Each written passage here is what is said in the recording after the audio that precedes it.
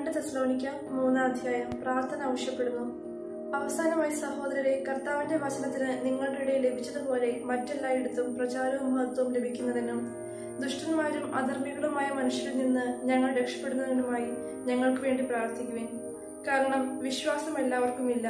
എന്നാൽ കർത്താവ് വിശ്വസ്തനാണ് അവിടുന്ന് നിങ്ങളെ ശക്തിപ്പെടുത്തുകയും ദുഷ്ടനിൽ നിന്ന് കാത്തുകൊള്ളുകയും ചെയ്യും നിങ്ങളെ സംബന്ധിച്ചാവട്ടെ ഞങ്ങൾ കൽപ്പിക്കുന്ന കാര്യങ്ങൾ നിങ്ങൾ നിവർത്തിച്ചുകൊണ്ടിരിക്കുന്നുവെന്നും ഇനിയും നിവർത്തിക്കുമെന്നും കർത്താവിൽ ഞങ്ങൾക്ക് ദൃഢമായ വിശ്വാസമുണ്ട് ദൈവത്തിന്റെ സ്നേഹത്തിലേക്കും ക്രിസ്തു നൽകുന്ന സ്ഥൈര്യത്തിലേക്കും കർത്താവ് നിങ്ങളും ഹൃദയങ്ങളെ നയിക്കട്ടെ അധ്വാനശീലരാവുക അലസതയിലും ഞങ്ങൾ നിന്ന് സ്വീകരിച്ച പാരമ്പര്യത്തിന് പാരമ്പര്യത്തിനിണങ്ങാത്ത രീതിയിലും ജീവിക്കുന്ന ഏതൊരു സഹോദരിൽ നിന്ന് ഒഴിഞ്ഞു നിൽക്കണമെന്ന് സഹോദരരെ കർത്താവിന്റെ നാമത്തിൽ ഞങ്ങൾ നിങ്ങളോട് കൽപ്പിക്കുന്നു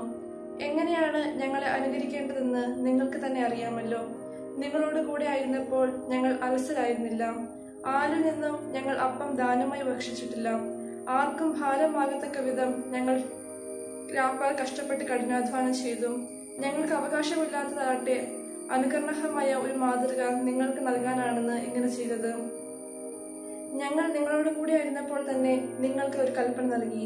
അധ്വാനിക്കാത്തവൻ ഭക്ഷിക്കാതിരിക്കട്ടെ എല്ലാ കാര്യങ്ങളിലും ഇടപെടുകയും എന്നാൽ ഒരു പ്രവൃത്തിയും ചെയ്യാതെ അലസരായി ഒരുക്കുകയും ചെയ്യുന്ന ചിലർ നിങ്ങളുടെ ഇടയിലുണ്ടെന്ന് ഞങ്ങൾ കേൾക്കുന്നു